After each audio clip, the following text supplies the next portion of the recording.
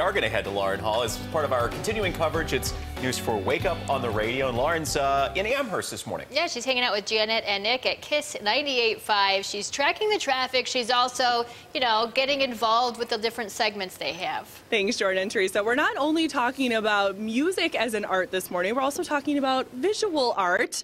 Janet, I see that you've added a little bit of artwork to the studio. Well, Lauren, this is actually for a really good cause. Now, they did a mosaic of my face, but this is something KISS 98.5 is supporting.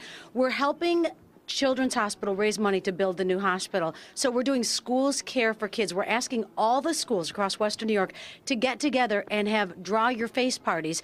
All of these single pictures of faces of students across Western New York will be part of the permanent mosaic of Children's Hospital. And what will the big mosaic be uh, of? Do you know? They have not announced what it's actually going to be a picture of, but this is a way to raise money for Children's Hospital. And we haven't built a new hospital in 100 years. So to have your child's face be in the lobby of Children's Hospital, we're really excited about it. And we're hoping all the schools get together with us. So this is an example of what a mosaic is, and it just happens to be my picture. How special. I mean, if you think about the wide mm-hmm. reach of Children's Hospital and how many children here in Western New York have been treated there or someone in their family has, and like you said, for their photo to be part of the hospital. Yeah, I think about how somebody in fifth grade could be drawing their face today, and then in 10, 15 years, they'll be going to the hospital for other reasons and happy reasons, and they'll be able to find their picture for the rest of their life. So it's a really special thing, and we're excited to be a part of it. So they're still looking for schools to participate. So if someone at home is a teacher or a parent and knows of a school that wants to participate, how do they do that? They can just go to our website at